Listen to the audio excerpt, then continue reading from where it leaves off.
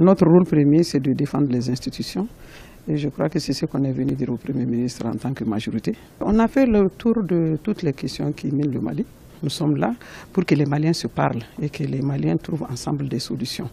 Donc euh, on a posé la question au Premier ministre pour comprendre un peu euh, l'esprit, ce qui s'est passé avec les chefs d'État, les décisions qu'ils ont eu à prendre. Et euh, il nous a dit qu'effectivement, ces décisions sont des décisions qui sont à ce stade des propositions. Et il compte sur nous pour voir dans quelle mesure on peut tous ensemble les appliquer. Nous, on a insisté sur le fait qu'aujourd'hui, euh, le Mali doit sortir de cette situation. Et pour que le Mali sorte de cette situation, nous qui sommes de la majorité, et lui, il nous l'a dit aussi, et c'est ce que pense le président de la République, ce n'est pas la peine de sortir nos muscles. Il faut qu'on soit les plus calmes et qu'on essaye de faire comprendre à ceux qui pensent autre chose qu'il y a une façon de régler les problèmes qui n'est pas euh, ce, qu'on est en train de, ce à quoi on est en train d'assister.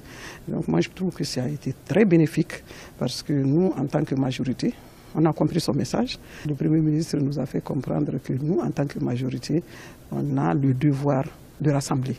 On a le devoir de parler avec tout le monde. Aujourd'hui, on a besoin urgemment d'un accord politique entre nous.